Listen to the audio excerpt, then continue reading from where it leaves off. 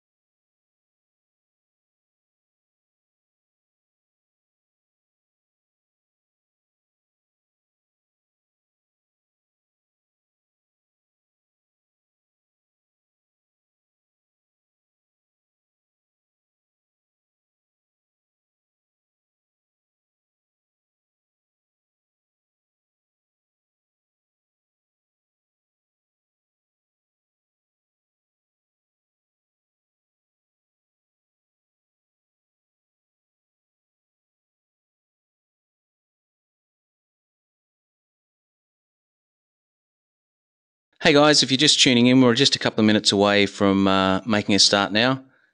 So uh, put the kettle on. Got a really great webinar coming up tonight, and just a few more minutes away now.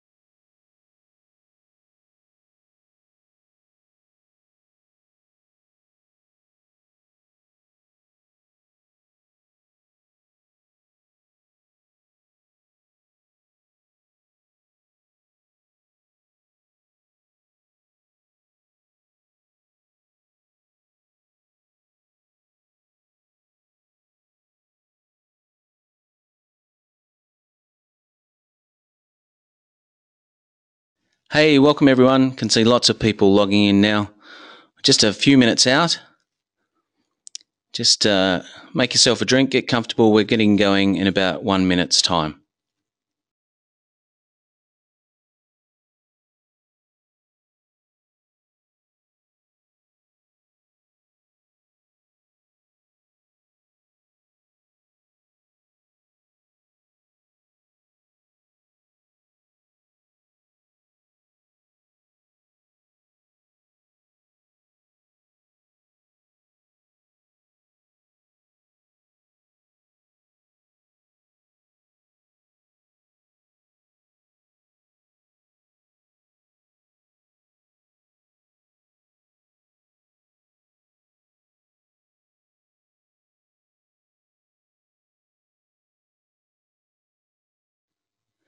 Hey everyone, just about ready to start.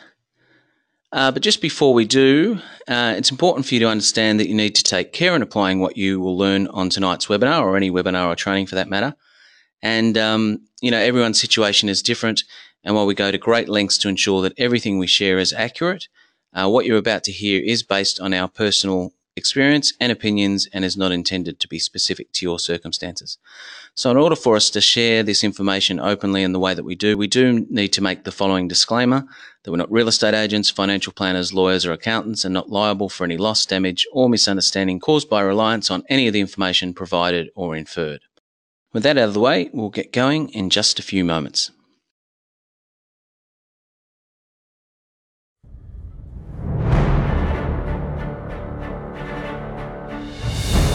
15th of September 2016, a call went out. We will review your ugly property here. From all corners of the country, ugly ducklings came flooding in. Period homes from Victoria, splitters from South Australia, top floor apartments from the Northern Territory, waterfront properties from the Gold Coast, and farmhouses from New South Wales. Each property has undergone rigorous analysis, prodding and probing, and put under the microscope by two bona fide property experts. And from all the properties submitted, five finalists have now been chosen. Tonight, together with you, our audience, we will choose the winner of the Great Property Challenge. Oh, hi, and thank you for deciding to be part of this very unique webinar. It's really great to have you here. Now, this is not going to be your average webinar. It's a very special one off opportunity to witness how to select the right property for renovation success. So, in this session, your challenge, if you choose to accept it, is to work hand in hand with us to examine the properties and via an extensive process of elimination from many that have been submitted by our community, we will decide which is the best one to invest in and why. This is your opportunity to witness, learn, and engage in how to choose the right property. So, the properties that we will examine tonight will be pitched to us by those who submitted them on the grounds that they are an ideal strategic renovation prospect. And to up the stakes and to make it even more competitive, the winning property submission will gain free access to the Ultimate Guide to Renovation 2016, valued at over $2,400. So, John, before we get underway, can you please take everyone through some housekeeping, please? Sure, Jane. Yes, tonight's webinar is a competition and it's the much acclaimed Ultimate Guide to Renovation 2016, which is the prize up for grabs. Now, over the past few weeks, you may have seen that we've had over 30 properties uh, posted for review to the Ultimate Guide to Renovation Facebook page. And tonight, you, the audience, will play an important part in critiquing these properties along with Jane and Bryce. So, throughout this webinar, as the properties come up, please let us know what you think of them by posting your comments. Now, if you're tuned in via GoToWebinar, just type your comments in the question box, and that question box can be found at the bottom of the GoToWebinar control panel. So, post your comments in there. We really want this webinar to be as interactive as possible. So, please get involved, share with us your thoughts as the properties come up, and let us know who you think should be the winner tonight. So, as I said earlier, one of the lucky people tonight will win free access to the Ultimate Guide to Renovation 2016 program, which is now not far away. In fact, it will be reopening for enrolments in just under three weeks.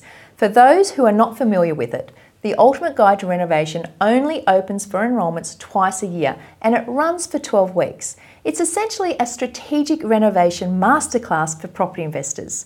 It includes 12 modules of task by task video tutorials, and we walk step by step through two real renovations. Then there's 12 months support from me via our group mentor monthly calls.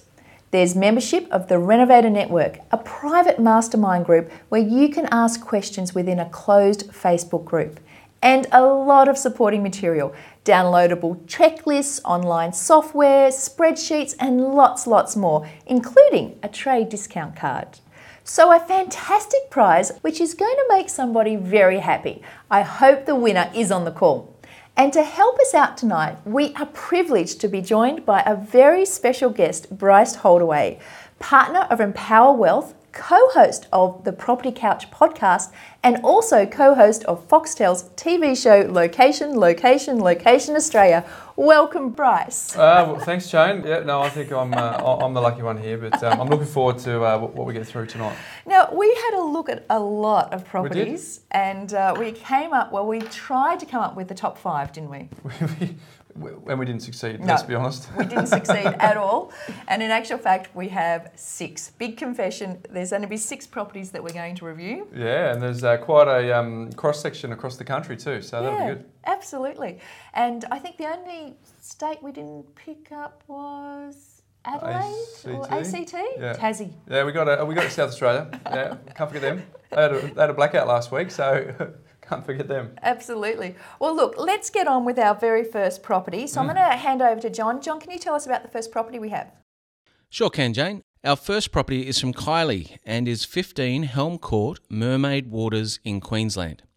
Situated on Queensland's Gold Coast, this canal side suburb has the second largest shopping centre on the Gold Coast, plus is home to Jupiter's Casino, lively restaurant scene, and close by popular Nobby's Beach.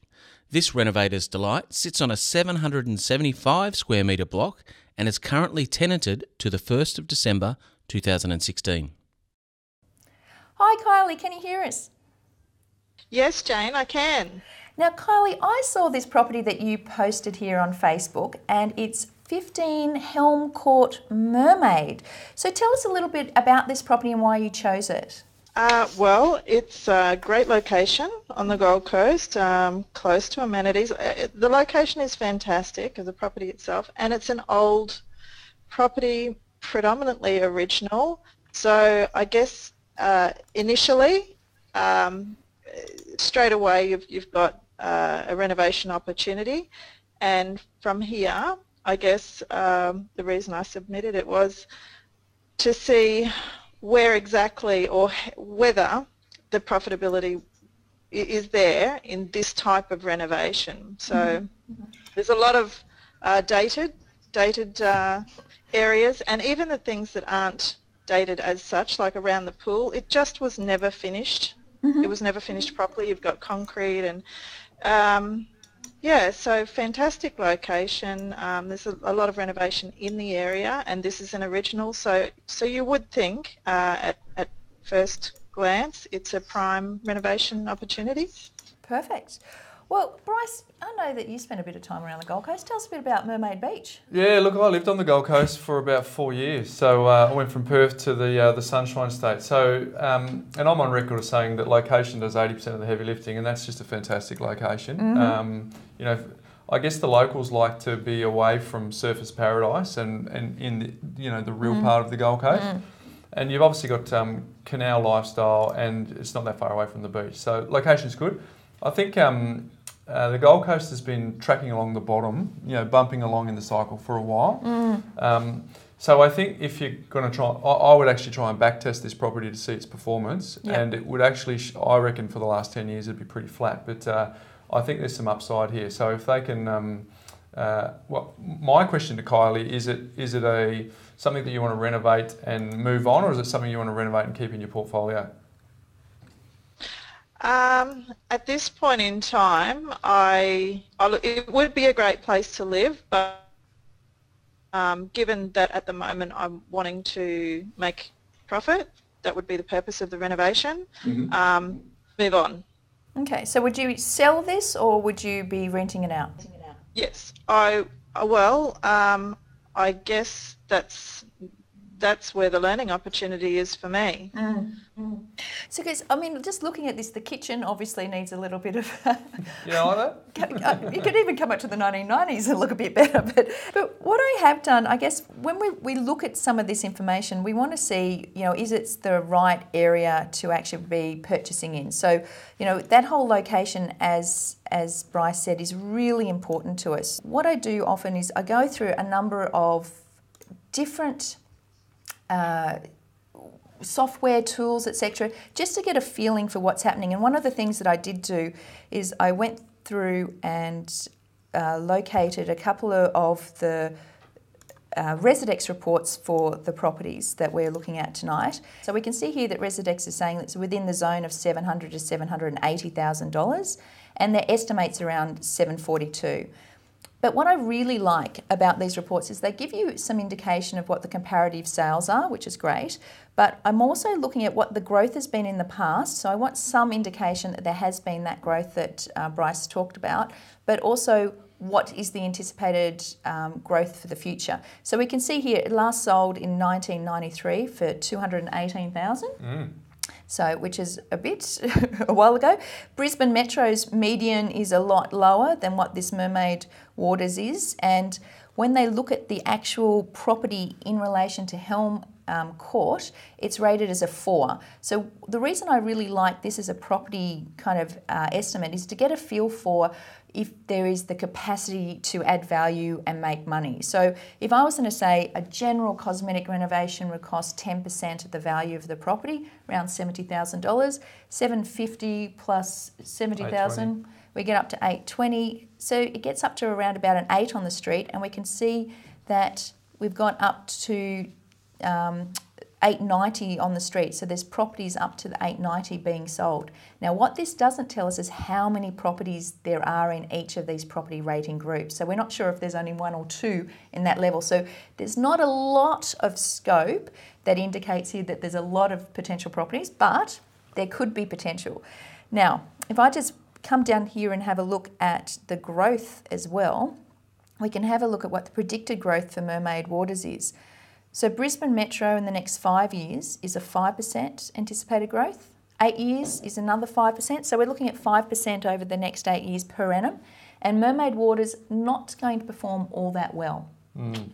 No, look, I think um, for, for me, the Gold Coast is going to double in population in the next 30 years. So mm. it's number six city in the country mm. now by uh, tw- late late 2040s, it's going to double to about 1.2 million. So all of the lifestyle locations up the eastern seaboard are going to do really well. So if they were going to play the long game on this, mm. um, I'd be comfortable with that because we've got uh, location great, we've got the lifestyle um, mm-hmm. in spades being on canal, and then clearly it's got a baseline of um, pretty much blank canvas because yeah. as we saw from the photos, it needs yeah. some work.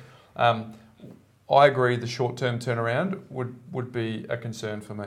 Yeah, absolutely. So this would be a long term hold. And I think also when we have a look at the property itself, you know, if I said $70,000 to bring that up to the value, I'd, I want to have a look at what the comparable properties were that had been renovated to really see if we need that full seventy thousand dollars. Because you might think at a you know seven fifty price point, I'd be thinking Caesarstone and something nice. So it's going to be a more expensive kind of kitchen if we're looking at that renovation potential. So you know, in theory, it's there's is capacity to add value and make money. I don't think there's the capacity to add add value, make money, and flip this, just looking at, at that pricing disparity on the street. Mm. It's got some uniqueness about it being on that canal, so you might get a premium for it. Um, but uh, look, I, would agree that uh, someone who's in that location would be expecting a fit out that reflected that mm-hmm. if you were going to go to the trouble. Um, and so that would that might bite into your margin. Absolutely.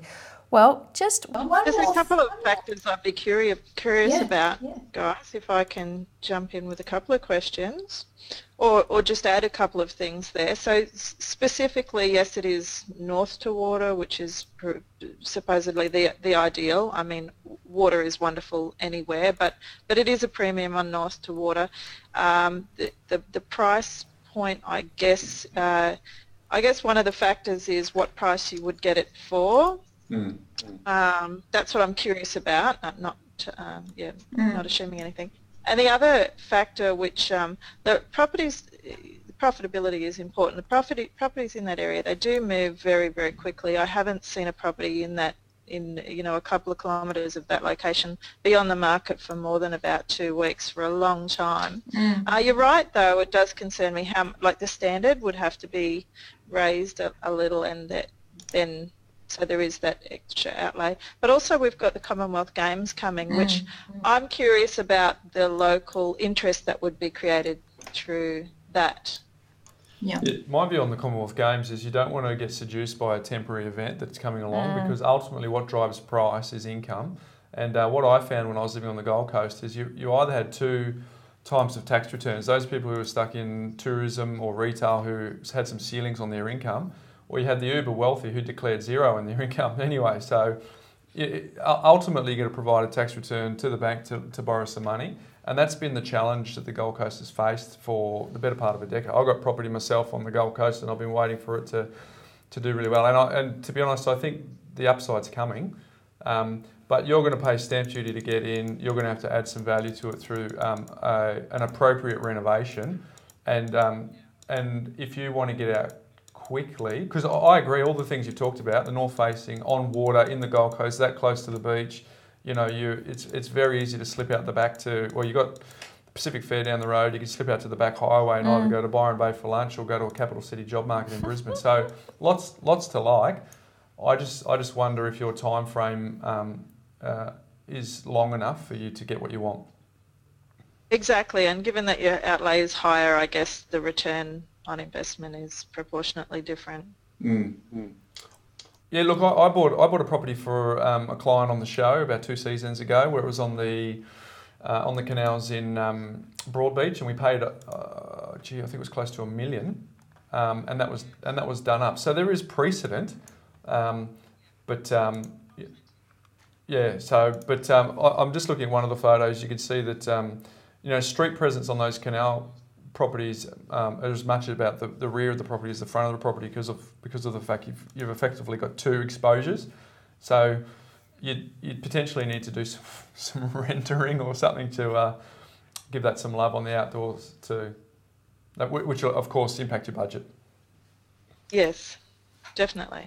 Fabulous. Yeah, well, and I, I can't just put a little white picket fence there either. It's You'd have to do something pretty nice. Oh, I was just quickly looking at, at Ripe House and you know the properties that are on the market at the moment. There seems to be quite a considerable amount on the market, but but one of the things that I find interesting is just looking at the occupancy type and looking at where the people who want to rent live and where the people who own occupiers.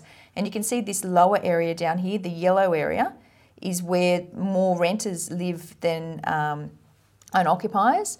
So for that buy, renovate and hold, there's an indication that, you know, this is a, a, rental area and you will have, you know, not just two weeks on the market before it sells, but you probably have some uh, low vacancies as well. Sorry, I was just going to jump in there. Um, DSR data is a is a demand supply ratio tool to determine um, on the ground um, demand for a particular suburb, and Mermaid Waters is 68, and the national average is 58. So it's significantly above the average. So, and that's a measure of um, days on market, clearance rates, um, stock on market, vacancy rate. So there's some key metrics that rate that quite well. So all, all, all the data would suggest that the potential really exists there. It's just whether or not um, it's got that short-term um, mm. price disparity that you need. Yeah. So thank you so much, Kylie, for that property. I really appreciate you sharing that with us. And oh, that's my pleasure. all the best and uh, good luck with the competition. thank you so much. So, John, on to property two. Yeah, thanks, Jane. Our second property is in West Footscray in Victoria and has been submitted to us by Bill, who says it's an ugly duckling with good bones in an up and coming location. West Footscray is a 15 minute commute to Melbourne CBD it has a median price of $740,000 and has a three bedroom rental yield of 3.8%. This original property sits on 460 square metres of land and lies just 200 metres from Tottenham train station. Fabulous. So let's pull up this property and have a look. So, what can you tell us about this, Bill? Uh, it's in within the 20, uh, 10 kilometre mark of the CBD. It's uh, virtually opposite the train station. It's an ugly duckling with, um, I think, good bones and good mm-hmm. potential. There's a good price disparity between renovated and unrenovated properties. and I think it's got good potential for some additions, such as a box on the back. Okay, fabulous. Well, you're talking our language when you're talking box on the back. Now tell me, Bryce, what do you think about West Footscray? Well, I'm on the ground, as you know, Jane, mm. in West Footscray, so I know that it's actually a highly desirable suburb. So, and it's got some period charm. And I'm just having a quick look here. I think it's on a decent, it's 460 square metres of land, and um, as Bill said, that close to the city, it's it's got a lot to like. Mm. Um, but I, I'm interested in uh, Bill's sort of strategy. Is it is it for the long term, Bill, or is there a shorter term view? Uh, it's a combination. Uh, I've got a couple of rooming houses and I'm looking at the potential of this one as a, a rooming house. So just do a cosmetic um, and then possibly put something on the back with rear access. Um, or alternatively, I think um, renovate it, um, sell the front, renovate, subdivide, sell the front, basically get the block or half block um, with rear access for free at the back. Interesting. Lots of different twists there, and yeah. I see here just looking at the plan. There's the you've got a right of way as well at the back, so you've got access from the back. So if you did choose to do that bungalow as a separate kind of um, property, you could have a separate access. Is that what you're suggesting? Yeah. So the the bungalow would go, um, and basically where the um, the north side of the bungalow would be the sort of dividing line, I guess. Mm-hmm. Um, so that would um, be dependent on, on obtaining a crossover uh, and having a, a, a, single or a double car park at the front of the property. Excellent. Okay, so let's just have a look at, I guess, some of those assumptions that you've you've got there and what we might want to consider. I guess one of the things that we would like to know is what is the typical size block? Because if you've got some thoughts about dividing this block then we don't want it to be a small small block that doesn't even get sold. So one of the tools that I use to find that out is I go into SQM research. And if you go into this section they've got this new section called the price per square meter coefficient curve and what they do is they look at all the sale data in a period of time and you get a feeling for what the typical size block is. So what you say the tip, this block was 600 uh, 460 460. So we can see here that we've got anywhere between 400 and a few up here around the 800 mark. So if you're going to split that block down to those two I guess 230, there is actually evidence of sales there, and the sales are actually at a higher price point per square metre as well, which is very attractive to developers. So there is some evidence of those those um, smaller blocks being sold. So that's a a good uh, indication. One of the other things I do is I'd go into RP Data Professional. Now you use this a lot I in do. your yep. line of work, don't you, Bryce? and if we go in here and have a look at West Footscray, what I'm looking for here is recent sales and getting a feel for that pricing disparity that you suggested that's there. So we're talking about a three bedroom house yep. and looking at that floor plan, we also have the capacity to um, maybe make it a four bedroom property quite easily. So if I just have a look at that, and I'm looking at three bedroom houses that have sold in the area. So we've got 7,000 properties in the area and we've got 1,500 three bedroom houses. So let's have a look at some of the sale history. So we've had 31 recent sales. So the thing here is that I would look at is what is the standard of the properties that have recently sold. So we've got here the, and have you got a, a I guess, an indication of price indication that you're interested in? Bill? Uh, in terms of purchasing, um, sub 600. Okay, so, and we've talked about a 460 land size, so let's go up to 400 to 600 square metres just to make sure we get rid of some of those smaller ones out. So We've got in here, let's have a look at this property for instance. So 529, five bedroom. Let's have a look at some of the photos to see. So we've got the floorboards, which we saw in that. An older style kitchen that hasn't been renovated. Old, kind of modernised bathroom. So the interesting thing about this is this is recently sold at you know a a price that uh, is a lot higher. So 651 but does that have the capacity for you to actually do it up? So when we looked at that original property, it was I know, a little bit less renovated than this. I like the way you describe that. Original, I like to say. Yeah, original. Now let's have a look at this one just to have a look. So what we're trying to see is these. We know what these sale prices are. Once again, the polished floorboards, which you have, an older style kitchen again, more modern bathroom. So if we compare that to what we saw with your property here, we've got the floorboards, kind of modern mm-hmm. kitchen that needs doing up. A bit of paint here could improve this. And what's your thoughts on baths and showers, Bryce? Oh, I think in, in terms of whether you should, mm. oh, I think you should have a bath. Yeah, you cut out too much of the demographic if you don't have a bath. So potentially a bath with a shower over the top here in this bathroom. Yeah, well, if, if, if there's not enough room to have them separately, but definitely have a bath. I know I know families who, who would who would love to be in the property, and if there's no bath, they'll just walk away.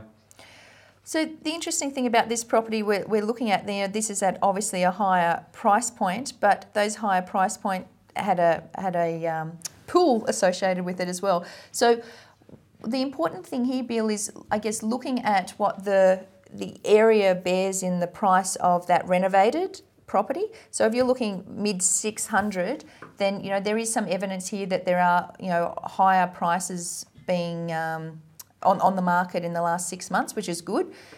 The other thing I think that you know we want to have a look at is have a look at what that predicted kind of growth is as well. So we want to have a, a feel for you know what what's going to be happening in that area. So I'm just going to go ahead and have a look at that Residex report again. So we've got here the estimate, once again under 600, your indication on the, the price again. And if we go down here and have a look at what's happening in the street. So once again, it's not the most expensive property in the street. There's a, probably one or two sales that have come through a lot higher, but not and I'd say that these are aberrations. These are something that uh, statistically is not correct. So if you look at it as getting from a six to up to a nine, there's only a ninety thousand dollar gap in there. And the concern around that would be, unless you're doing the twist strategy, which is what you're suggesting, you know, applying that, um, you know, potentially the boarding house or that extra box on the back out, out the back and extending the property, there may not be that disparity to actually get your money back on it. I can add there too, Bill. I'm on the, I'm on the ground in West Footscray. So there was uh, a sale last week for three better, similar size block. Went for eight seventy five, and it was it actually blew my mind that it went that high. So um, to get it under six hundred, um, I would be highly surprised if you could get under six hundred. The things that are going for you is on a very busy road, and you're in a traditionally lower socio-economic part of that suburb. I don't know if Jane can flick to my screen at all. Let's do that. Yeah, I agree with that, Bryce. Um, I did a comparison of um, uh, recent sales on this side of the train line and on the other side. There's probably uh, about a hundred thousand dollar differential in recent Easy. sales. Um, Okay, so can you see my screen here, Bill? yes. What I've done is I've highlighted West Footscray and you can actually see where the income pockets are. So up here I've put um, anyone who earns in the household greater than 100, uh, $104,000 and you can see this section here which I've highlighted, it's 0% and then around here it's 1.5 and then you go up to the dark red, it's a bit higher. Now keep in mind we're waiting for the next census data to come out so this will reflect higher but what what it points out is this little section hasn't traditionally been the the the area that the higher income earners want to be in. So that's my concern. So you go to Tottenham train station, you see it's been fully gentrified. In fact, all of the train stations along the Western Line have been gentrified significantly. But uh, what what would hold this property down is being opposite the train line and being on a very busy road. But uh, 600,000 is a very significant price point in Melbourne because there's stamp duty concessions for first home buyers. And I know that on the ground, lots of people are getting so frustrated at, at missing out that they would even compromise to be on a really busy road across from the train. And so up to 600, you're going to have competition from firsties. Um, so as Jane says, you want to make sure the price disparity. What I think is going for this property is that if you can subdivide and put a newer townhouse on the back, for example, um, I know that would be in demand. Uh, and then if you could spruce up the um, the front one, Um, again, because there's there's five or six buyers for every property in that region right now at that price point, you'd probably get your money. So in short term, there might be there might be opportunity, but um, long term, if you are if you are buying, renovating, and hold for the long term, I'd prefer to be on one of the other streets in West Footscray. Yep. Right. Okay. Yeah, my my thinking was that uh, other streets with that sort of potential are going to go for the 750 uh, Or more, Much, much I guess you know uh, I was valuing the the being on the main road uh, at about 100,000 as is. Okay. Okay. If you have a look, I don't know whose screen we're on, Jane. Are we on your? So if we go up to DSR data, we- we- West Footscray has a DSR of 67, and to give you some context, the average for the country is 58. So the demand on the ground is significantly higher than the supply, and I can actually back that up from personal experience. So the suburbs fine, no dramas. Um, but I, I just I just worry about the um, the busyness of that road. Sure. Okay. Good. Yeah. Likewise. Yep.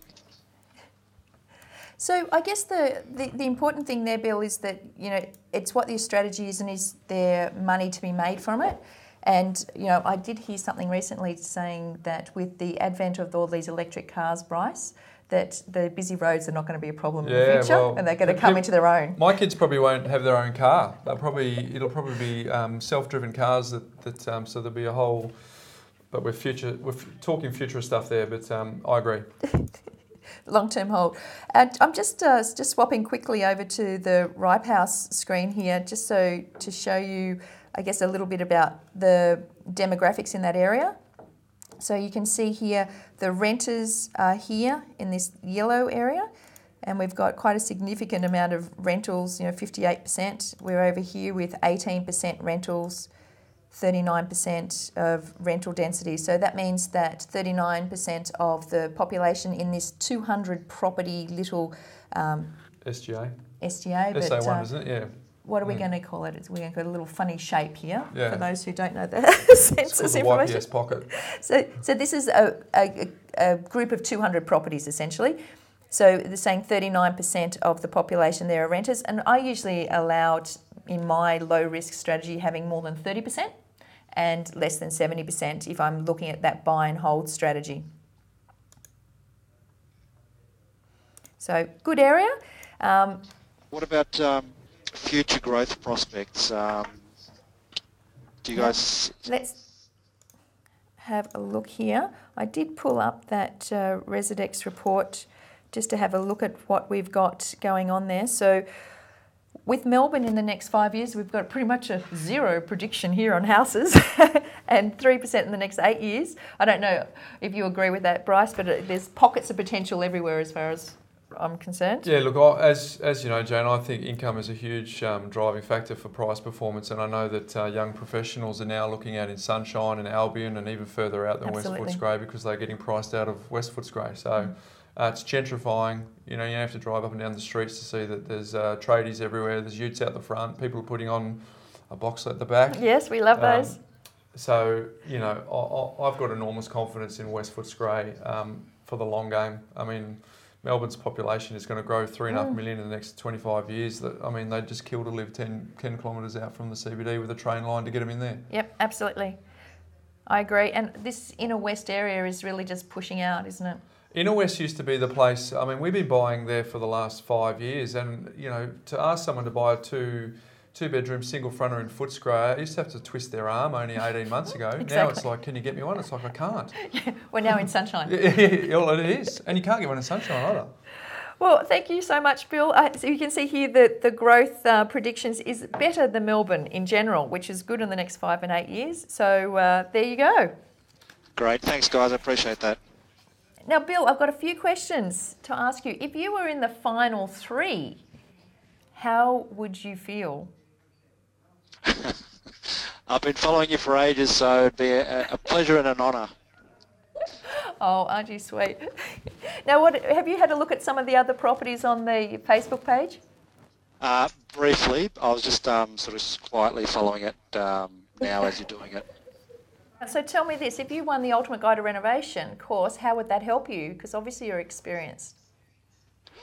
Uh, I'm look. The last sort of year or so has been about self-education with a view to transitioning to to hopefully doing this full time. I've um, done you know bits and pieces here and there in the past, and I've tried everything else in between, from retail to professional to running a business um, to full-time share trading. So this is where uh, I think my future is and my family's future. Uh, this is what we have a passion about, and I think you know having access to, to your resource uh, would just you know really I believe make that process a lot easier and uh, and really be beneficial. Well, I can confirm that'd be a good idea, Bill, because I've I've definitely seen the course and it's got some cracking content. So uh, for, for any any experience level, so you'd, you'd get a huge amount of benefit out of it. Yeah, I definitely. I, like I said, I've been following Jane um, probably for about a year now, uh, and just yeah, just what you offer in your unpaid stuff it has been invaluable. So good on you, appreciate it. Thank you so much, Bill, for your submission and good luck in the competition. So, John, who do we have up next? Sure, Jane. 17 Sandpiper Avenue, New Auckland in Queensland is an unfinished renovation project and on the market for only $130,000. New Auckland is in the Gladstone region of Queensland, an area known for mining and home to two of the world's largest alumina refineries. This three bedroom, one bathroom property is clearly in need of renovation, but does it have profit potential? Hey Ben, do you want to tell us a little bit about this and why you've submitted it for the competition? Yes, I found out about this through using the Residex budget predictions report. And mm-hmm. so it said in New York, New Auckland, that the, this area will have 10% growth per annum over the next five years and 10% growth per annum over the next eight years. Um, so it's got one of the best growth predictions in all of Australia. Um, and then this property, it seems to be valued way under the Residex um, price estimate. So the Residex mm-hmm. price estimate is 265,000 and it's mm-hmm. currently going for 130,000. And the, it does require a little bit of work, but I wouldn't have said it too much. So some landscaping, uh, fresh repaint, um, and so forth. So I wouldn't have said it's got too much um, expenses that need to be done. Um, and so if you do the figures, so in other words, you might be able to get this for not much more than 100,000 and not much uh, more renovation to do.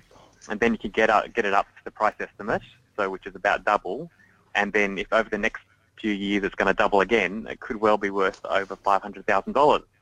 So in other mm. words, you hmm. could get five times back your money um, over the next uh, few years. Count me in. I'm there. I was going to say, Ben, everyone's writing down this address now. I guess just I've just been flicking through some of the pictures, and one of the things when I looked at this that um, I, I, loved about the fact when you posted this, you'd done the research and you you know had that growth um, numbers in there, and you you know looked at that as a data. But then when I pulled up the property, I came to this bathroom and I stopped, Bryce. I've got, I've got bathroom envy. Have a look at that. Who, who wouldn't want to share in that?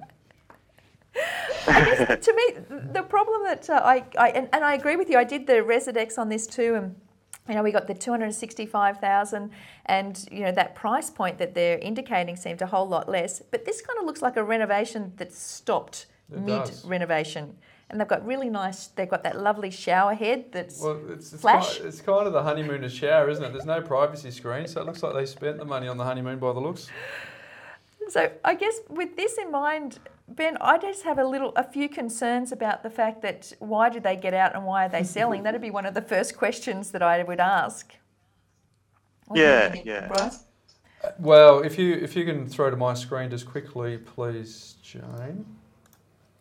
Um, ben, what I like to do is ha- have a look at real time on the ground supply and demand. So DSR put New Auckland uh, houses and it's come up as 32. And you say, well, what does that mean? Looks up that too, yep.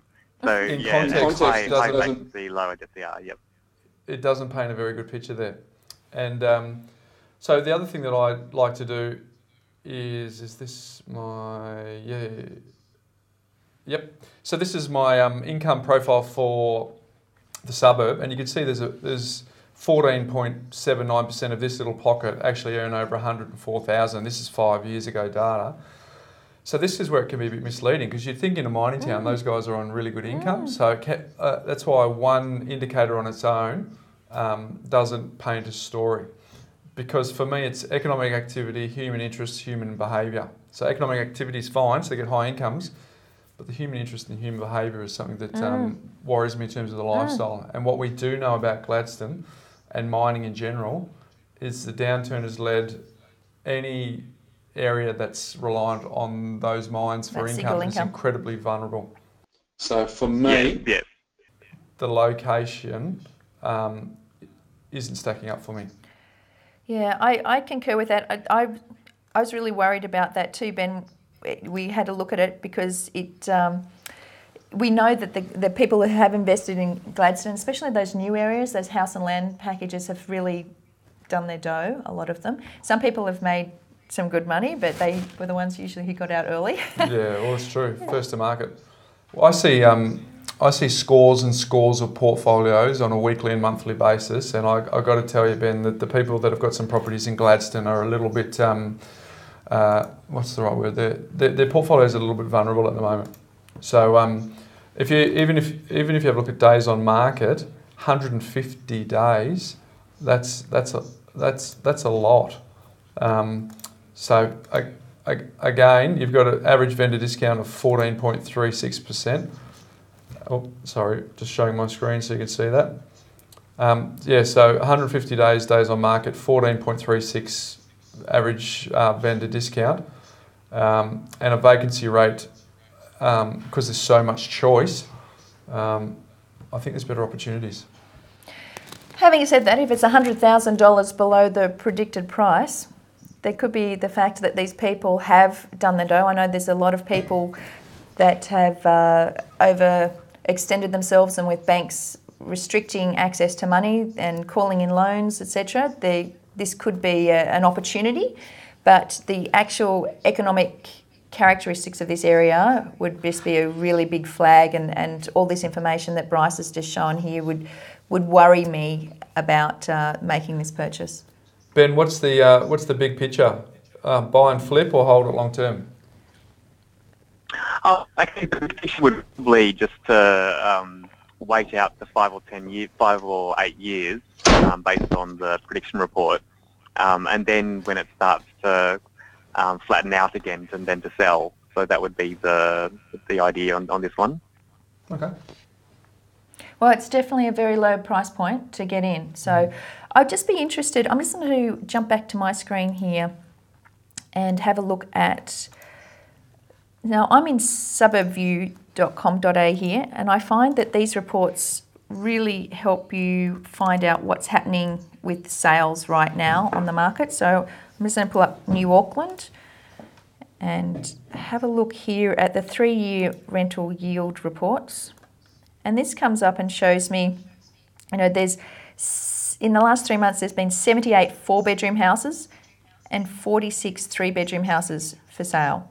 So this is a substantial amount of, of uh, properties in the area that are being sold or being tried to be sold. And that uh, kind of verifies that 14% vendor discounting that uh, Bryce pulled up. And if I just go through here and just look at houses, there, there are so many here that are for sale. So I'd have some, and a lot of them are under that 200,000 mark too. So I think there's people with a bit of pain going on here. And although the prediction report does indicate that there's economic uh, drivers to increase the value of these properties, I think I'd, I'd back up what Bryce says here. You might just have to put your your other analysis in and see what are the plans for. Maybe the council has some information about expansion or what they're trying to do to encourage new business, etc. But I know that those that are up there at the moment are uh, in a bit of pain, and I'd hate for you to go in and purchase something and uh, purchase their pain. So you go for something with a higher DSR, would you? Uh, I'd use that as a starting point, definitely, Ben. But uh, quick question for you: uh, h- h- How far away do you live from Gladstone? Oh, I'm in. Sorry, you cut out the crucial time. You're in Sydney. Yeah, so I've just been looking online. So uh, yeah, I've just been um, buying the Residex budget reports and then looking online Sure. and seeing what's what's out there based on the budget reports um, there. And so yeah, and I haven't. I've never been to that one- site yet. Sorry to interrupt you. If you purchase this one, what, what number in your portfolio would this be? Ah, so I've got three um, townhouses in Brisbane currently. Okay, good. Yeah, so so you got some experience, which is great. Well, I think it's um, it definitely has the, and and I think this also proves again, Bryce, just because there's the opportunity to renovate doesn't necessarily mean that there's money to be made as well.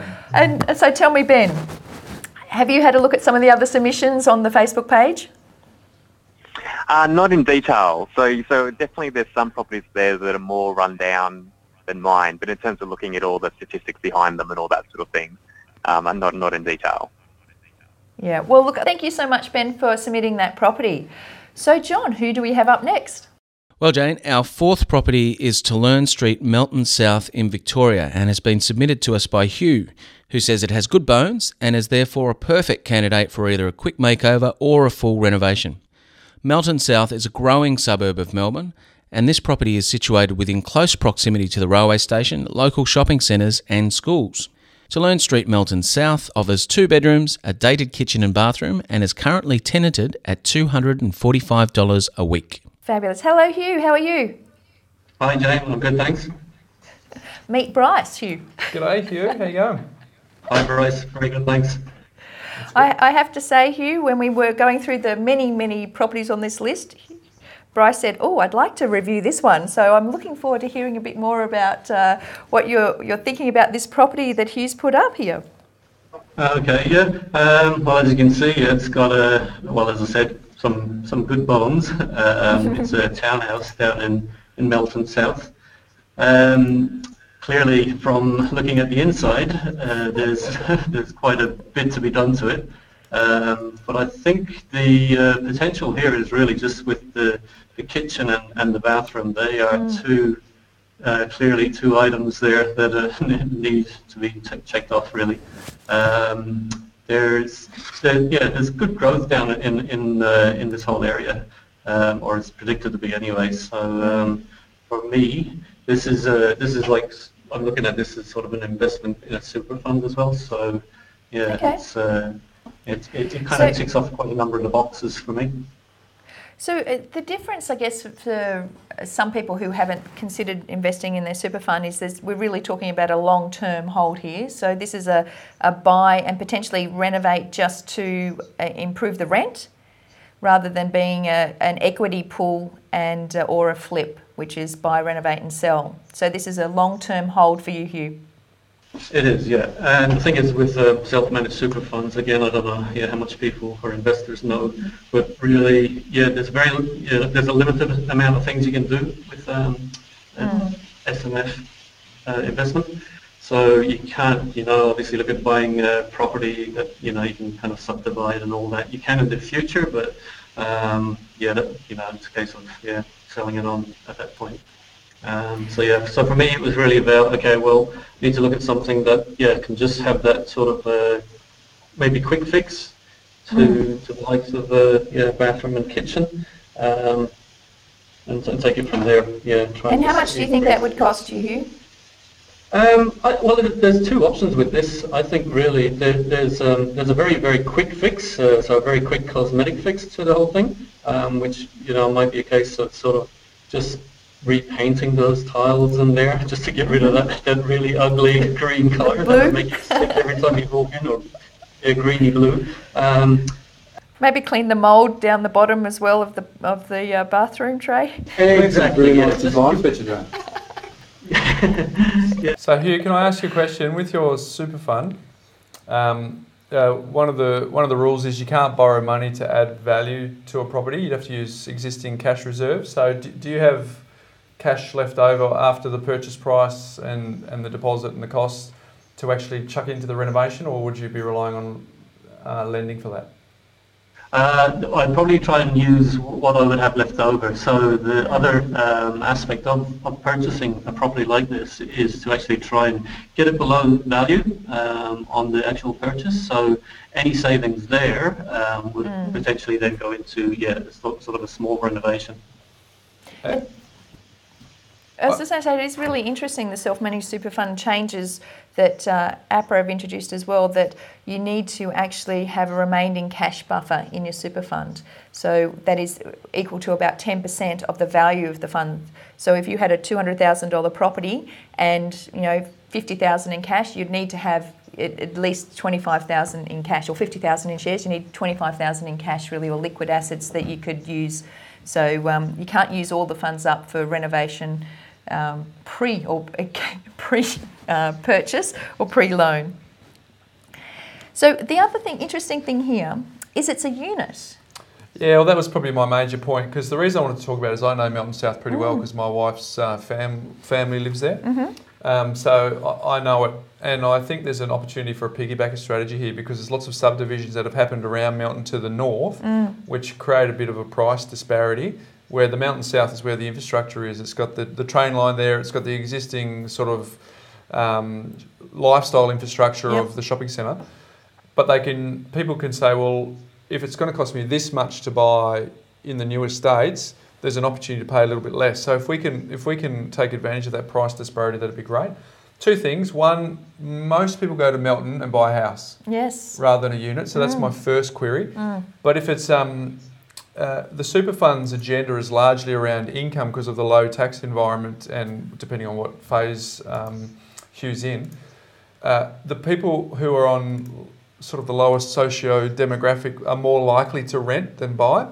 So therefore, more likely to want to rent his property, which could give the return that he needs for the super fund. But generally speaking, um, people would go to Melton and want to buy a house. That's why they Yep. go that far out. And just, um, I'm just going to share my screen here and show you how you can kind of verify that information, Hugh. If we go in here into the Australian Bureau of Statistics and we put in Melton South, it tells us what the typical type of property is. So, is there a, a significant risk of you actually purchasing a unit in this area? So, we can see here 86% of people actually have houses, which validates exactly the concerns that Bryce brings up. And then only 4.7% have flats. And the other thing that's interesting here is uh, as well as we've got three bedrooms, 65% of people want three bedroom properties and only 13% want two bedrooms. So you're looking at a two bedroom unit. So either you've got uh, the property that's kind of the unicorn that everyone wants, or you have the property that's the dodo. which uh, is not going to deliver the value for you over the long term. So it's important to understand that. And although this census data is old, obviously we're waiting for the new data to come out, the demographics don't change that much.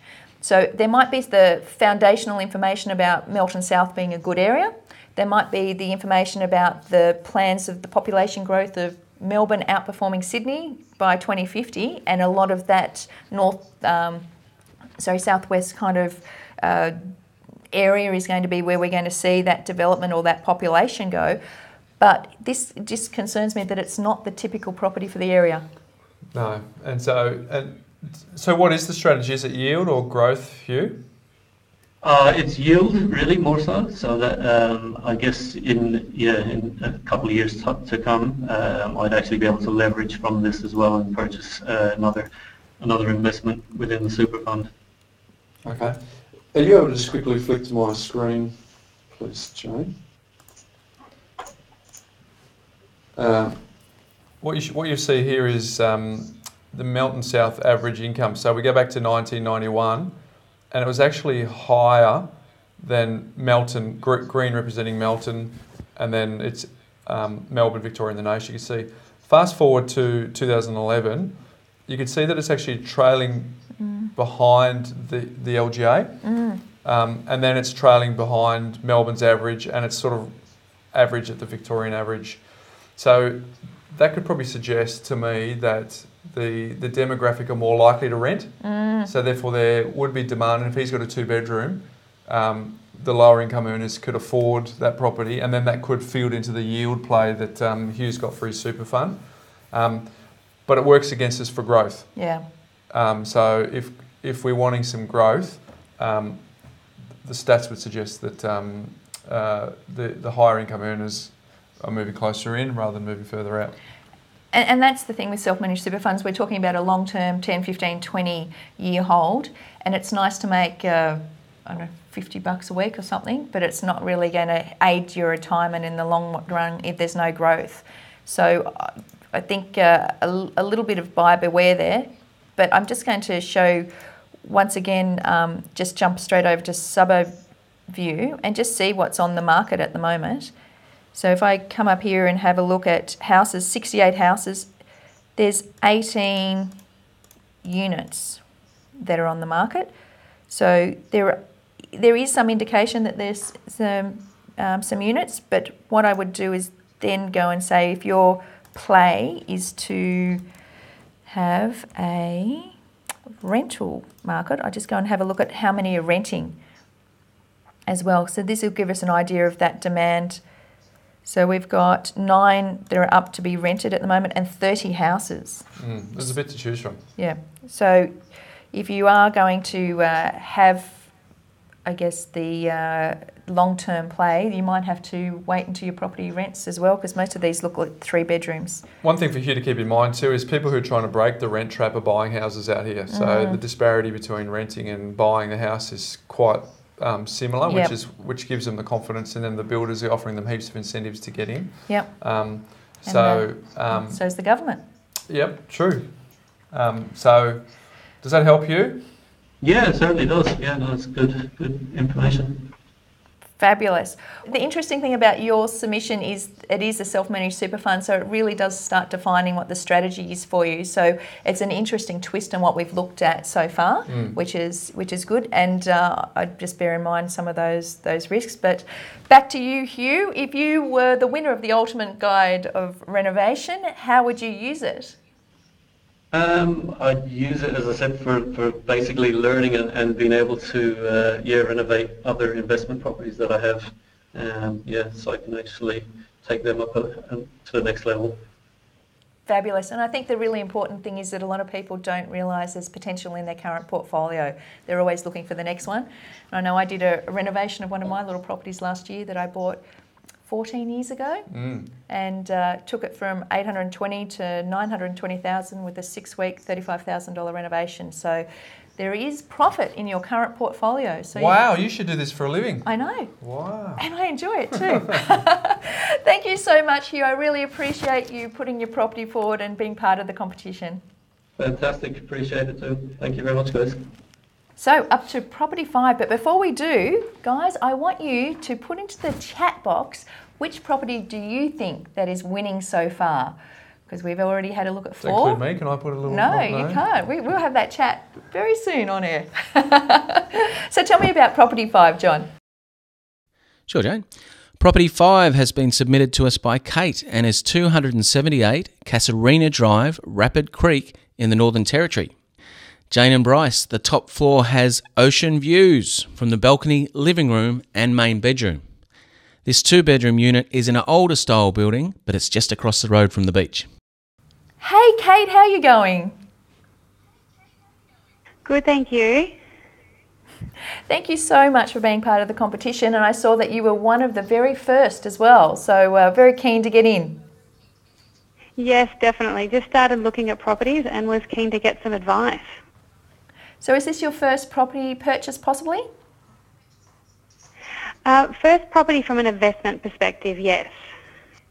Excellent. Well, let's have a look at it. It's in Rapid Creek in Northern mm. Territory. I have to say, Bryce, I've never heard of Rapid Creek. I haven't. I've been to uh, Darwin with the show, but I didn't get to Rapid Creek. It looks like a good spot on the water there. It does. It looks like a great spot. So tell us a bit about this area and why you're attracted to it. Um, this area, the area Rapid Creek is actually right next to Nightcliff, and Nightcliff is one of the very popular suburbs in Darwin, um, and it's had a big growth over the time. And Rapid Creek's right next to it. Um, beautiful foreshore, and they've got some cafes going up there, and it's an area where a lot of people just always want to be. It's kind of a little bit out of the city, um, but over by the foreshore, which is just nice and quiet and beautiful breezes, which is a big thing in Darwin. Mm, makes a difference. And are you from Darwin? No, I've actually just been up here uh, 18 months now, so getting used to the heat coming from the south. Hence why the breezes sound so interesting. and tell me, Kate, what's your strategy with this property? Would it be to buy, renovate, and hold?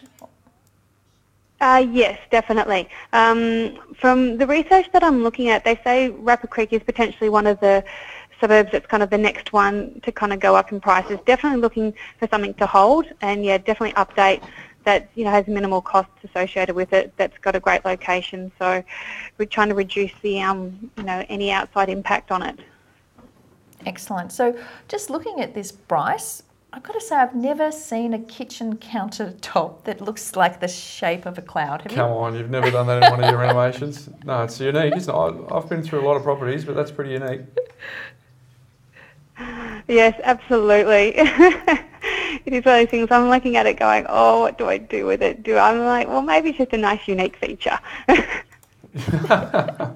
Well, it is. uh, You know, I actually looked at this and I thought, well, there has to be the capacity to actually kind of just shave that off and, and potentially just, you know, put a whole new bench top on the top. But the reality is, when I looked a bit closer, was that they actually mimicked the the cupboards underneath to the same same kind of uh, look. People paid a lot of money for that when this first came off the plan, Jane. Well, I tell you what I do like about this property, Kate, is that we're, we've got a, a kitchen that looks you know, fundamentally pretty okay. Yeah. A bit of paint, and uh, and potentially you you might have to keep that uh, interesting focal point.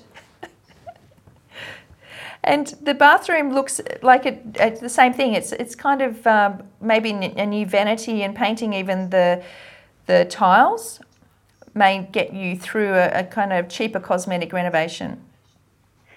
Yes, looking in the bathroom, it's just I think the tiles need a, a lighten up, and also shower curtains aren't that popular these days, so preferably might just update the frame and put in a new glass Mhm. shower frame. And I, one of the things when I look at units, Bryce, I don't know about yourself when you, we talk to your uh, your clients, but not having a lot of strata fees and not having those very large blocks of units with all the costs associated with lifts and tennis courts and swimming pools. This looks like it is a low set, you know, three level kind of area. No pool. Oh, probably has a pool, but no caretaker, no lift, no concierge. That all keeps the uh, the body corporates down. So, because what I found is I've back tested so many units Mm. over so many years, and the 1970s ones always stack up better than the 90s and even the modern ones. And uh, uh, there's a couple of reasons for that. I think one is the 70s. Obviously, back then they were in better positions, which bo- 30 years on, Mm. you know, developers envy those positions. Yep. But also the fact that they don't have those exorbitant body corporates means they're appealing to both owner occupiers and investors. And without that owner occupier appeal, it really struggled to drive the value of the property. So I think it's a really good point you raise. So what I'd like to have a look at here is, I mean, have you done any purchasing in Northern Territory? No, I never have. I've, I've, I've, I've been up there for the show, but I've never actually bought one there. Well, what I'm going to do is I'm going to jump over to um, the information that we've got here, and I'll just do that. Whilst you're doing that, Jane, Kate, um, given it's your first one, are you wanting to buy in um, the Northern Territory just because it's in your backyard? Um, it is, I guess, because we're here at the moment for the next few years, and looking at it's a very transient place, and I guess trying to do the analysis compared to coming from Sydney and Melbourne and the costs of properties there, and for our budget, Darwin does look like a good option, and we know that it's a young population. Um, for the whole city, and that there's a lot of people coming and going, so the rental opportunities are fairly strong. Okay. Okay. I always, I always suggest to my clients that you fall in love with the suburb before you fall in love with the property. And the reason I say that is because location will do 80% of the heavy lifting. Mm. And the other thing I like to do is buy counter cyclically. And um, the, there's three filters that I overlay economic, economic activity, human interest, human behaviour.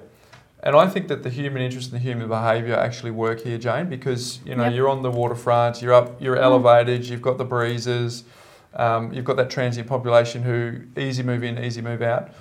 Um, the economic activity overlay is where I'd want to really pressure test it because, as we know, Darwin's um, economic activity is largely around the mining. Yes. And um, given that that's had a, a bit of a challenge of late, and not too dissimilar to Perth, um, whether or not in the next 36 months there's going to be that um, price pressure um, would be something that I'd really want to look under the bonnet a bit more. Because there has been some quite concerns about, you know, Northern Territory and Darwin going backwards, hasn't there, in the last. Uh, Well, it, it wasn't that so. long ago they had a really great run. Um, so it, I'm, I'm not saying you can't make money in Darwin, but um, the worst case for someone is to invest in a property, particularly if it's their first one, and see it track sideways for three or four or five years, and then they wonder, why did I do this? Because I bought I bought countless properties counter cyclically of people where the price I'm paying today is the same as what they paid five years ago. Yep. So two people, same property, two totally different experiences Yep. because we got the timing right, and they've and they've Yeah. had to sit tight and go, well, where's this money that's meant to be made in property? and inevitably, a lot of those people actually then sell, and then the market takes off, and they go, "Oh, there's nothing you can do in property. You can't, you can't And make that any barbecue money." story, yeah. Now, look, I'm just looking here at the the Residex information for Rapid Creek, and it kind of substantiates what we discussed just then. Is the fact that in 2007, 10 years ago, the median price was 377. It's the same median price for units today, so it's gone up and it's gone back down, and 10% in the last year and 6% the year before. So, so it shows that there has had that kind of uh, lack of interest if, in the the last couple of years. And I guess we're looking also here at what the, the sales are like as well. So there's only, you know, six, mm. 12, 20 sales for the year. So not a lot of units being sold here.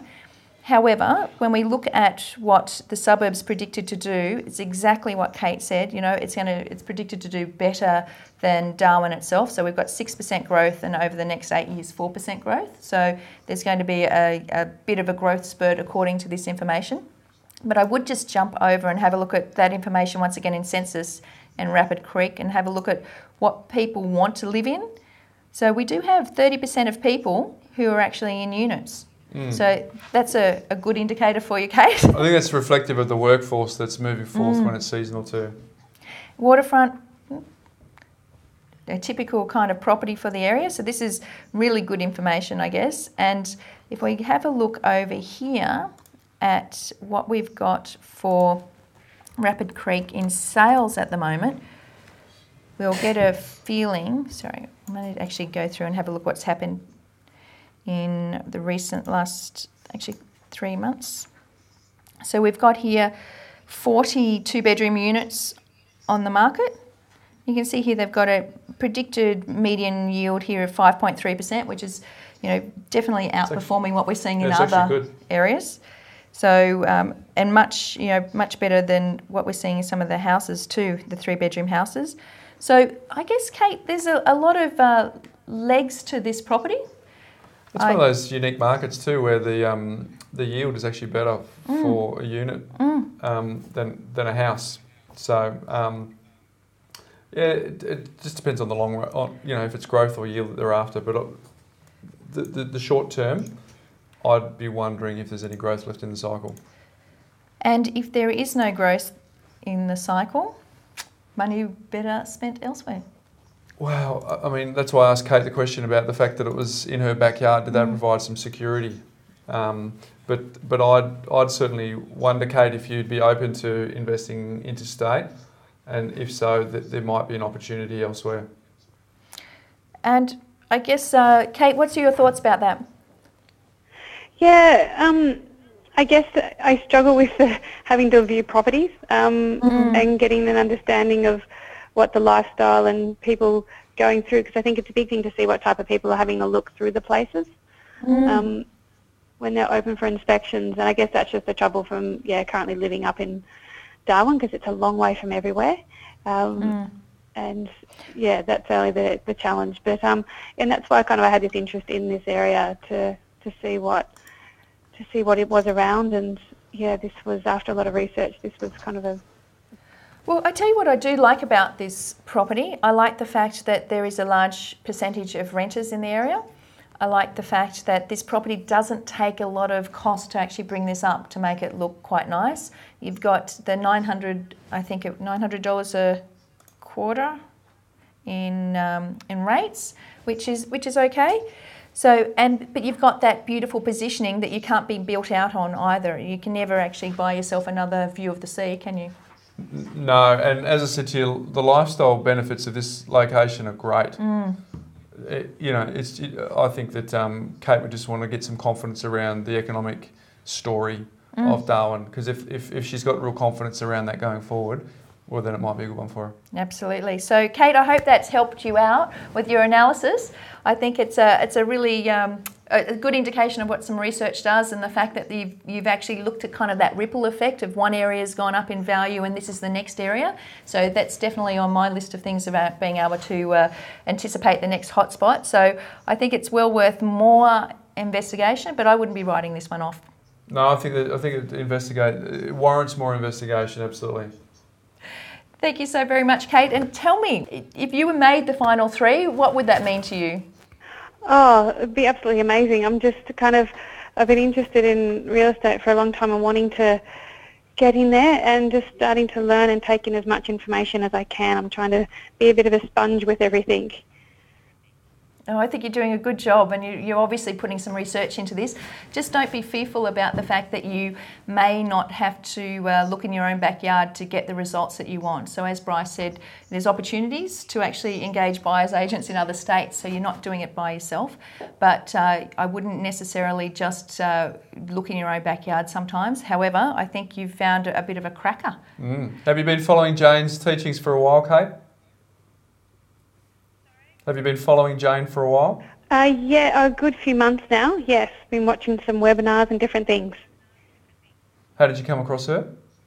Um, just searching for, looking for advice in real estate and wanting to get some expert advice on people who have looked at holding properties and building their portfolio, and that's something of interest for me, definitely. Well, I might be biased, Jane, but uh, I reckon you're one of the good guys in the industry and should do worse to uh, follow your advice. So, um, Oh, but Bryce, hopefully that's right helped, back Kate. Yes, no, it has. It's been great. Thank you. Okay. Okay. Thank you so much, Kate. I really appreciate you putting your submission forward, and good luck. Thank Good you luck. very much, and thank you very much for the advice and the time. Pleasure. All the best. So another good property. A very good property, yeah. And in actual fact, that would round us out to the five that we said that we're going to have a look So at. So we're going to stop. My job's done. we Time can't. We can't stop. I want another one. We're going to talk about our favourite topic, but uh, I I think the next one that we got to look at is pretty cool. Yeah, it's a bit of a ripper, isn't it? It is. Yeah. Well, for those people who are uh, looking at all of the properties that we have shown so far, I want you to put into the chat bar what you think the winner is going to be, or even the top three. Tell us what the top three are going to be, and uh, Bryce and I are going to have a bit of a whisper later, and we'll come up with who we think should be the top three. Rock, paper, scissors. Well, the next property we have is from Diane, and Diane is in Perth, Oh, quality individual if she's from Perth. but the property she's choosing is in Melbourne. Yeah. So yeah. there you go. It's ticked all your boxes so far. it has, actually. Yes, Diane is from Perth and the property is almost from Melbourne. It is 91 Waratah Street, Geelong West in Victoria. And Diane says she chose this property because it's below the median, has a 6% predicted growth rate, and the property is a good fit for the demographic who live in the area. Geelong West is a suburb of Geelong. It's commutable to Melbourne CBD by car or train and has a mixture of residential and commercial residents. 91 Waratah Street is just a minutes stroll from the train station, local shopping, cafes, and the Geelong waterfront. This home offers three bedrooms and one bathroom and is on the market for $410,000 to $450,000. Hello, Diane. Hello, how are you? Well, thanks. Very well. Thank you so much for putting this property up. My pleasure. Now, it seems to me that you've uh, you've done a whole lot of research. You say here in the Facebook page that it took you hours to research this property. It did, much to my teenager's disgust, because I used his computer. I can't get my iPad off my eight-year-old anymore. I, I, you know, It's just a strategy to get them on Facebook. absolutely. Yeah. So tell me this: you, you said you've watched some of the webinars. Why did it take so much research? What were the filters that you were actually applying to to come up with this property that you submitted? Well, I started looking and then I thought, oh wow, there's so much more to this. And I suppose being in my time of life and what I'm looking for in the future, I really wanted that um, low risk strategy. And from what I was listening to you in your webinars, you were talking Mm-hmm. about that, you know, that capital growth. And then you were also talking about being able to rent and then add on for renovation afterwards to get even more capital growth. So if I've got that right. And, um, Absolutely, absolutely. We love that, don't we? The fact that you can renovate and add more value to the property, plus push the rent up. Yeah. It's one of the strategies that you've applied for a lot of your clients. Well, there's four benefits you get from renovating. You add value, you add yield, you create depreciation, and there's stamp duty savings because you've purchased in here and you've uh, increased the value. You don't have to pay the higher stamp duty. And you have that higher value property going up in value at the, the amount rather than the lower property. multiplier So effect is enormous. We love that. So we're going to have a look at this property, Dion. I think it's a little beauty, actually. I love blue. Why wouldn't you love that property? I wouldn't touch it. So let's have a look. Oh, we've got a few videos. We're getting a lot of real estate agents getting fancy with their advertising, aren't we, these days? They uh, they love to get in front of a camera, don't they? Mm. Now, it wouldn't take a lot here, just looking at this property, to add to the street appeal at all. Um, maybe some concern about looking at the roof itself, and uh, there might be a little bit of a, a cost associated with addressing tho- any issues there, but that's why you'd get the pest and building inspection and, and particularly point out to them um, that area and just ask them how much it would cost to either fix it or replace it. And from that point of view, you know, it's not necessarily the bang for your buck that you're going to get from your budget. So there's going to be some expense there that you know you're not going to get the direct benefit from, but it's one of those things that you're just ha- going to have to do for the maintenance for the property. Just got to make sure the initial purchase price reflects that, don't you? Absolutely. Yeah. So I don't know, is that pink or orange carpet? It's, it's kind of veloury velvet with a feature wall. So it looks like they've uh, done some painting, which is good, and uh, the painting extends to the yellow kitchen dining area. And we have an older style kitchen that may not take a whole lot of work to improve. So it looks like the, the cupboards are in good nick. I'd say that the handle's probably dating the you know, kitchen a bit, and there might even be the potential to paint that, uh, paint the cupboards up. But it looks like it's got a you know, kind of newish oven, and uh, I think that getting rid of that yellow colour scheme with the blue border would probably modernise that whole property a whole lot. Look, to me, to me, this property is really exciting to consider because it's got land, location, and looks. Mm. Um, so it's got that sort of period charm at the front. It's it's it's it's not an old school period, but it's got that um, that character. Uh, it's on a big block of land. Um, let's see if they've told us exactly how much. But uh, what I like about it is seeing that space out the back. You have a look at the floor plan. They've got the bedrooms at the front. There's opportunity to extend out to the back. And what I'm finding is being on the ground in Melbourne is people are being pushed out so far Mm. uh, for their budget, whereas you can come and be on the train because you're not that far away from the train station, commute to a capital city job market, Yep. and have the lifestyle that's on offer in Geelong on the weekends Absolutely. with a reasonably good footy team. Um, so there's there- there's a fair bit to like. Yeah, look, I, I agree. I've got a lot of people who are looking down in, into that Geelong area, and just from the affordability play that we've seen in Melbourne, and that's uh, there's so many more people commuting these days that, and we're seeing the same thing with Newcastle and Wollongong and Sydney. You know, those kind of satellite cities are really having that flow on, on effect and have a lot of capital growth predictions because of that. I agree. I've got enormous confidence in lifestyle coastal locations on the Mm. eastern seaboard of Australia Mm. um, because um, I've got some stats here that uh, 184,000 population is going to turn into 300,000 in about a 30 year time frame. Wow. That's that's significant. Absolutely. And if you can get within a um, uh, uh, like a proximity of that train line, which this one does, uh, you know, one one of the so there's there's parts of Geelong I would avoid because they're vulnerable to the manufacturing. Yep. But this area here, given that people who live here can easily work out of the Melbourne CBD, Mm. um, to me gives it enormous potential. And a great floor plan as well here. So, you know, we've got quite a, a big living area and we've got three nice sized um, bedrooms. So there's a you know there's a lot of opportunity here to you know keep the, the same floor plan and you know not trying to do anything smart by you know making a living room into a bedroom or anything because I think if we have a look at the census data we'll probably see that a three bedroom house is the typical property. Yeah, they want detached. Yep. And so you know this is this has got a lot of legs to it. So let's do a little bit of analysis on that and have a look around uh, what we've got in Geelong West. So we go. And that's what I liked about it, Jane. Jane, it, it Yeah. was um, the I compared uh, the three bedroom to the four bedroom, and there was a good Mm-hmm. difference. And then I compared the renovated to the unrenovated, and there was enough Mm. of a difference there. I thought. Mm.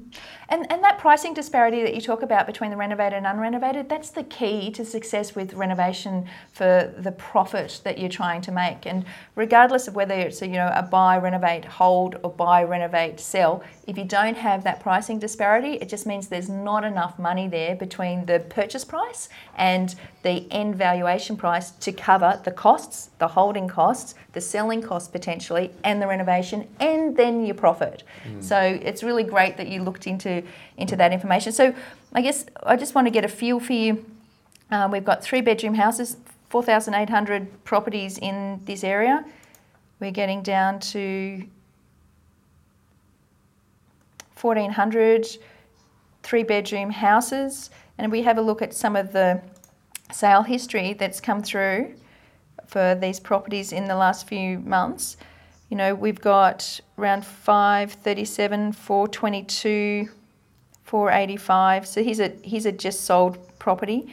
So it shows that there's you know a bit of pricing disparity between these properties as well.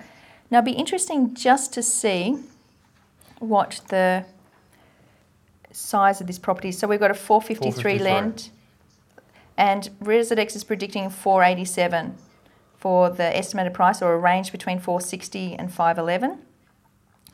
And if we come down here, we're looking also at. So I'm just going to go past the comparable sales. Now this would have saved me a lot of time.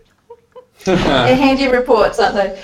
So this is what I was looking at here. Is this the rating of the property on the street? So as is, they're saying it's like a six out of ten, but you can see this huge discrepancy between even the six and the nine. There's one hundred and thirty thousand dollars there.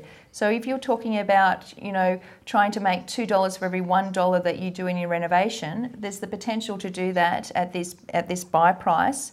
So, which is good. So that's that indicates to me that there's some uh, enough disparity for a renovation. And what I want to look at, and this hasn't sold for a very long time. So you know they they've probably uh, they're not someone who bought last year and have to cover a mortgage that's 95% of the, the loan. So they might be open to a little bit of uh, conversation. You're the negotiating expert. Well, yeah, I must admit I like seeing that because if you if you see that you know once you what they purchased and then there's what it owes them and it gets too close, you know you know where their pain point is, yeah. whereas they've got a bit of margin. Which is good. And look, look here, we've got median values that have been going up quite considerably, um, Melbourne Metro, but we've also got that um, mirroring that we're getting in West Geelong as well. And we've got a few more pieces of information, once again outperforming Melbourne. So there's some predictions there that are they're in, interesting in itself. So a lot of legs to, to this. And if we have a look back to, I just want to confirm what the typical property is. That is it. Uh, so this is a three bedroom, isn't it? Yeah, so yeah, forty five percent three beds. Okay, so we've got the typical type of property, separate house, seventy four percent, and typical number of bedrooms. Now, one of the other things I look at here is the percentage of rented. So there's thirty eight percent of people rent in this area, and that I find really attractive because over 30% is kind of my measure. I'm looking between 30 and 70%. I don't want to have a whole suburb full of renters who are not going to take pride in their property, but I do want to have some indication that if I've got a house to rent, that there's some demand there as well. What are your thoughts on that, Bryce? Yeah, I agree. You, you want to make sure there's a pool. The, the more I get confidence in the suburb, the, the more I get confidence in that percentage being lower because they're not. Then it provides a bit of scarcity, and then you have that. Um, uh, you know the people want to have that. Um, what's what's the status of being in? Like, Yep. think Albert Park, Middle Yeah, Park. yep, if yep. that was really squeezed, but people still want to be there. So, um, but if I was going away from the capital city job market, I'd be absolutely tying into your um, theory of, of having a market there. And let's just have a quick little look at. So what would you like to know, Jane?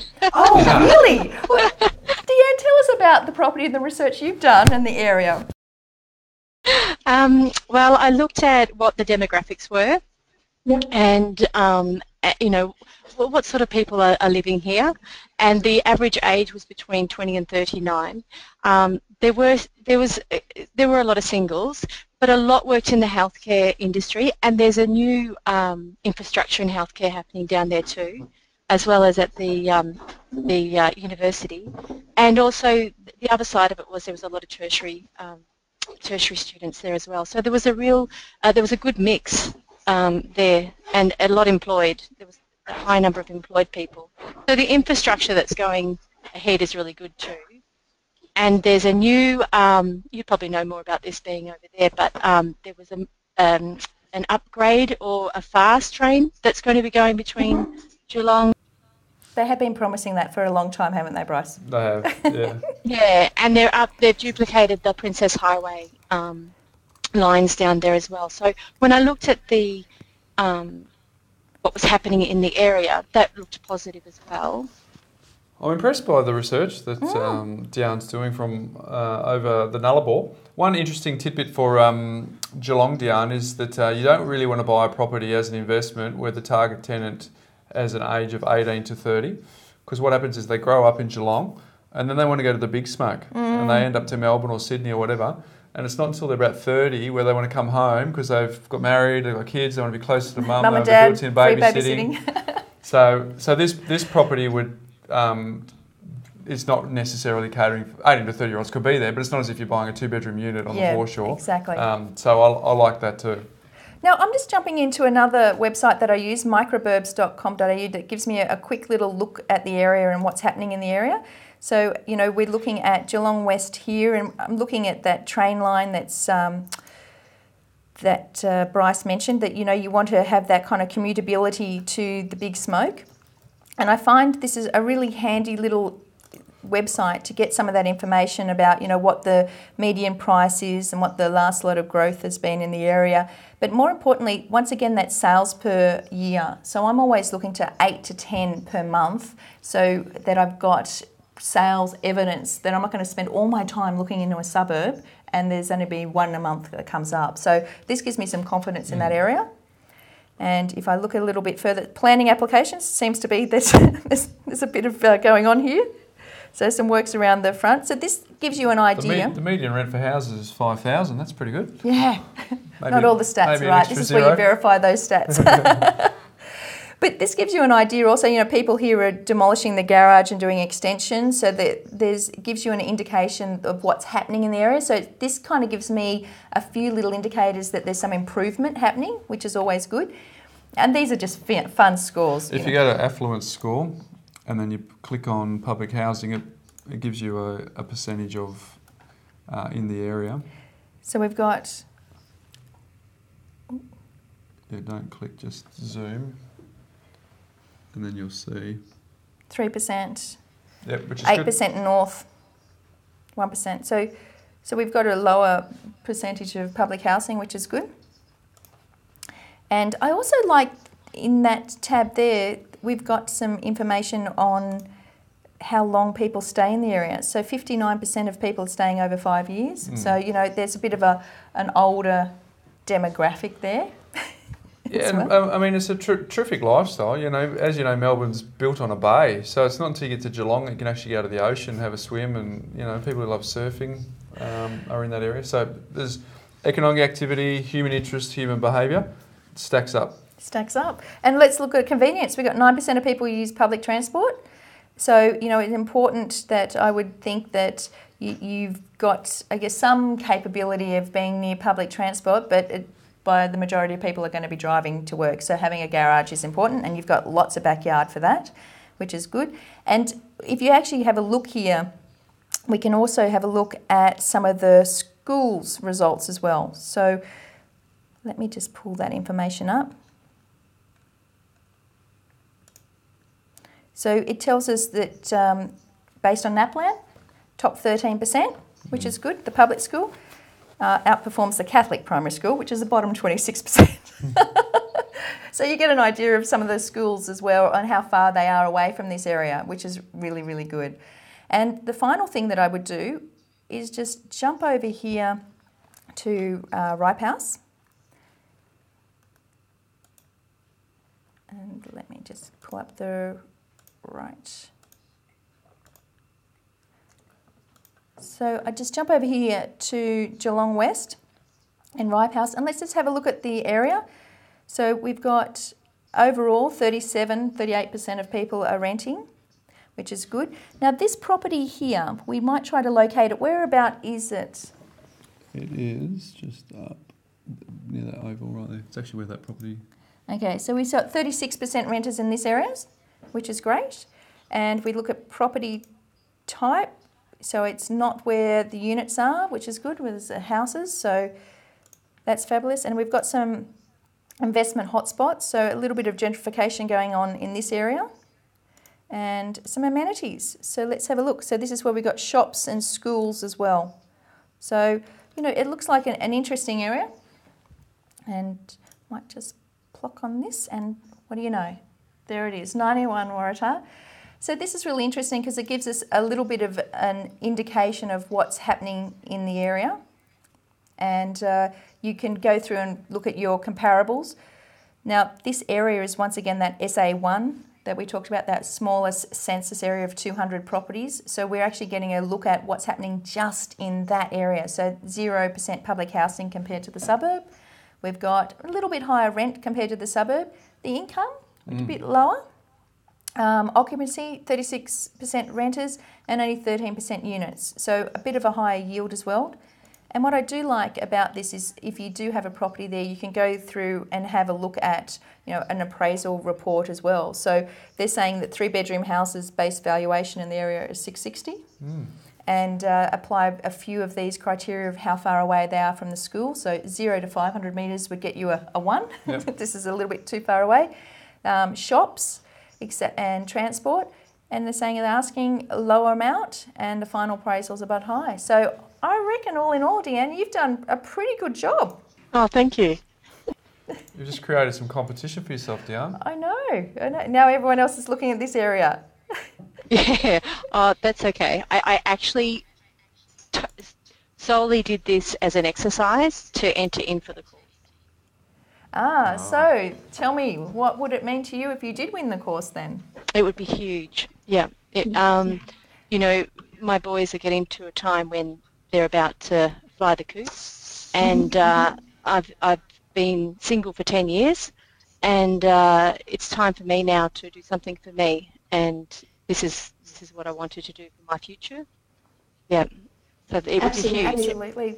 So I'm excited. I love it. I love every part of it. I, I, I lose myself when I started doing the research. So that's probably why I, I got the. Welcome, uh, to, welcome to our world. Yeah, I just love it, and uh, I, I, I, need to be able to put a plan together for my future, and uh, because when it's just one person, then mm-hmm. you are mm-hmm. it, and your future needs to be secure. But not only that, it needs to be planned, and I can't risk things. So I don't want to be held back by fear. So I need knowledge and that's why I wanted to do the course. Absolutely. Well, um, Deanne, I, I, guess it comes back to the conversation we have regularly with your planning clients at Empower. You know, just being able to look at people the long term of what they're going to do and take them on their life journey is so very important. And a lot of people buy property without even knowing that. No, I often, say that uh, you've got to get the strategy right, suburb second, property third. And I see so many people do property then suburb, and then maybe some vague strategy. And um, one of the first questions I have when someone comes into the office and I say, What is it that you're wanting to do? So I want to be rich, I want to be financially mm. free. I say, Well, what does that actually mean? How much do you actually need to maintain your lifestyle today without getting out of bed? And quite often people don't know they that. They don't, no. And it's, and it's a basic thing um, for people to understand what that is because I wrote a book that says, you know, how to retire on two thousand dollars a week. That's a hundred thousand, but some people don't need that. No. Some people, some people are quite comfortable on fifty thousand. So it's about it's about putting that um, that nailing your colours to the mast to say this is what I'm shooting for. Then reverse engineer that through a strategy, and then if you get the suburb right, which will do eighty percent of the heavy lifting, and then apply what you know Mm. to improve the property once you find it. That's nirvana. And uh, Deanne, what I, I like about what you have done here is you've actually taken that philosophy. So you've looked at the strategy. So renovation is what you want. You've looked at the pricing disparity. You've then looked at the suburb and you've done the analysis trying to find suburb with the pricing disparity, but also one with growth and the fundamentals of you know transport and population demand, and the, then the fit property for the area. And I reckon she's uh, she's cracked it. What do you reckon? Oh, I think Diane's done a terrific job. Yeah? Fabulous. Now, if you were in the top three, Deanne, what would that mean for you, and what would that mean as, a, I guess, a role model to your boys? Well, it was funny because my eldest, who's 17 and studying um, at TAFE, came in before and said, uh 'cause I told him about this, and he said, good luck, Mum. Um, I'm really proud of you. You're doing something for yourself for once. Oh, awesome. And uh, Yeah. that's that's really special. So um, it would mean everything. Yeah, it's it, it would be the next part of my life to, to go and learn this. Fabulous. Well, Deanne, thank you so much for putting the time and effort and research into this competition. We really appreciate your submission. Thanks for looking at it. I really appreciate it. Well done, Diane. It's tough. Oh, there's some good ones there. hey? And there's so many more on the Facebook page. They came in after the competition finished. So, uh, Snooze, you lose. absolutely. Got to be in it to win it. You are. all those things. And and I'll just qualify that uh, we we looked at a lot of properties and we did know that we had five and we didn't actually review them in the order that we had chosen them and we went for six in the end because we couldn't decide on the last two that we wanted to to choose which weren't the ones that you've just seen in that order so we wanted to keep it a little bit mixed up for you but uh, what are some of your favourites Oh, look, I think um, oh, they're all fun to do, aren't they? Because, you know, uh, as I say all the time, it's just because you live in a house doesn't mean you know how to invest in one. And I think that's one of the, uh, the false economies that people fall into because uh, uh, buying a property for investment has nothing to do with buying a property to live in. There are elements that you pull in when you're analysing, yep but um, ultimately, practical, emotional reasons are the reason you buy a house to live in. Whereas it's a bricks and mortar bank account, and if it doesn't stack up financially, there's no point. absolutely Um, so yeah, that, that was a fun exercise. I've got to say, you know, we've seen units, Mm-hmm. we've seen units on the waterfront, we've seen units on the outer suburbs, we've seen SMSF strategies, we've seen potential boarding house, knockdown bungalow strategies. We've seen waterfront, we've seen main road, Canal. we've seen quiet cul-de-sac. Yeah, it's been good. So, and the thing that I like also is the people aren't looking in their own backyard. You know, most of the people were looking in interstate, Mm. that's right. which takes a bit of courage. Oh, but the fact of the courage. matter is, is that if the numbers add up, the numbers add up, Mm. and sometimes they don't add up at home. So, good job. Well, John, we might have a recap. I want people to just put in the chat box the top three. Who's the top three that you think you've got? Whilst we run through the recap with John. Yes, thanks, Jane. Uh, you'll remember our first property came to us from Kylie and was the canal side 15 Helm Court Mermaid Waters in Queensland. This property was in original condition with three bedrooms, two bathrooms, and a 25 metre waterfront. Our second property came to us from Bill and was in West Footscray in Victoria. Sitting on a 460 square metre block, this property is only 15 minutes commute to the Melbourne CBD and had a three bedroom rental yield of 3.8%. Uh, next up, we have Ben with 17 Sandpiper Avenue, New Auckland in Queensland. And you remember that one was the unfinished renovation project and was on the market for only $130,000. Property 4 came to us from Hugh, who said it had good bones and therefore was a perfect candidate for either a quick makeover or a full renovation. Next, we went to the Northern Territory and we looked at 278 Casuarina Drive in Rapid Creek. You remember this was the top floor apartment with the ocean views and was just across the road from the beach. And last but not least, we had Diane from Perth who gave us 91 Waratah Street in Geelong West in Victoria. This property was just minutes to the train station and commutable to Melbourne CBD and on the market for $410 to $450,000. Over to you guys. Okay, top three. Top three, all right. I'm going to do honourable mention. honourable Oh my mention. gosh, is this like best on field? because Most valuable player? The Mermaid Waters property, I think, uh, let's, it didn't make our top three, Okay. but I think missed out just. Yeah. Um, I like where the Gold Coast is in the cycle. Mhm. Um, I like that property given that it's uh, Yep. on the waterfront. Got the and I think there's, uh, you know, it's a reliable, durable, ugly duckling. Um, so I think there's potential, but it just just missed our top Just three. missed our top three. Mm. Okay, in no particular order, I think I'm going to add in, we've had a bit of a chat, West Footscray. Yes, I, I like think that's a Bill's property. choice.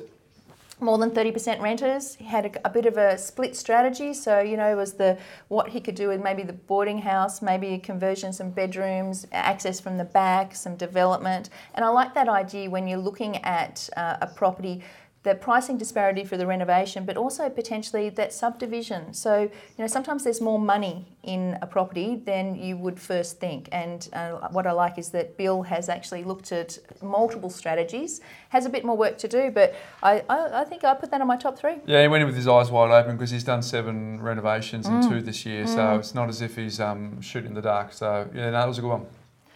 And I guess we have to bring in Diane, I mean, what, what an incredible job to um, research across the country, and I think they've got internet over in Perth now, so that would have made.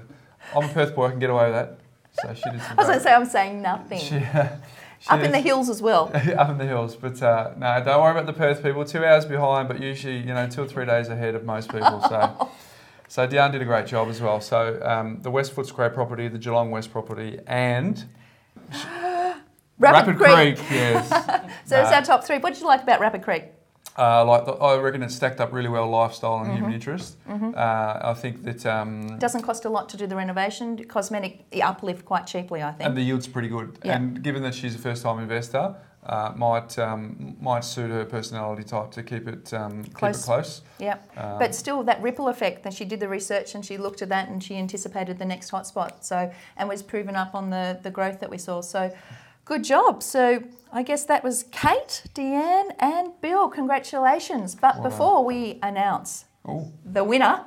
Da, da, da, da, of our favourite property and draw that fantastic prize, the Ultimate Guide to Renovation 2016. I just want to let you know that next Tuesday I'll be releasing a very special free educational video series, so make sure you check it out. Yes, thanks, Jane. Well, everybody's heard the stories of amazing renovations that have resulted in a good profit. And it's something that if you get right, a profitable renovation really has the ability to transform your life. And not only that, but renovation can also be a great way to fast track your property investing. By doing a little of that hard work up front, you can create an asset that continues to provide returns for years and years to come. However, for other people, renovation can be a complete disaster, a horrible experience that caused them nothing but worry and stress, and you know, in some cases, can even set them back years financially.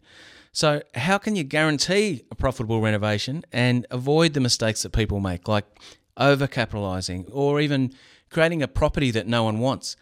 Well, to help with that, starting next week, Your Property Success will be releasing a free four part video series that will take you step by step through a real life renovation. So, this is a strategic renovation case study that took over nine months to film and edit, and it follows the progress of a cosmetic renovation, task by task, from start to finish. So, many people are understandably apprehensive about taking on a renovation project for the first time. So, in this video case study, Jane will take you through the entire process from property inspection through to identifying ways to add value, all the way through to the finished renovation itself. And you get to see all of the beautiful before and after shots as well. And uh, best of all, it's completely free and available to register for now. So I'm just popping a link in the chat box right now, or you may see a link on your screen. And if you click this link, this is to receive notification when the video series is released. So, a completely free case study. It's only available for a short period of time. So, if renovation is something you're interested in, uh, please don't miss out. Just click that link, register, and we'll notify you as soon as that video series is released in the next week or so.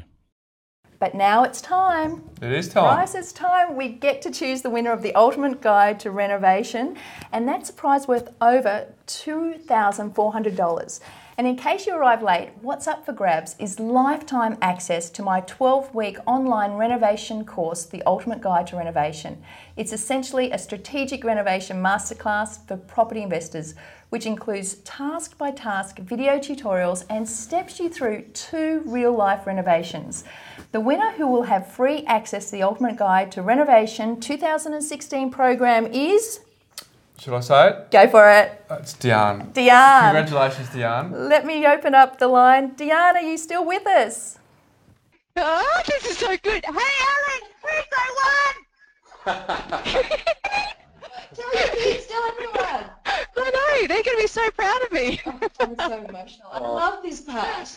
yes. Oh, that is so good. I couldn't afford it. I could not afford it. I'm paying for their school fees. I'm paying for their TAFE. I would not have been able to afford to do this. And uh, I bought your book and it arrived two days ago and this is fantastic. Oh, Diane, look, I can't think of a, a more worthy winner because you've demonstrated to everyone here online the research and how you can do that. You've methodology. What was that? Methodology.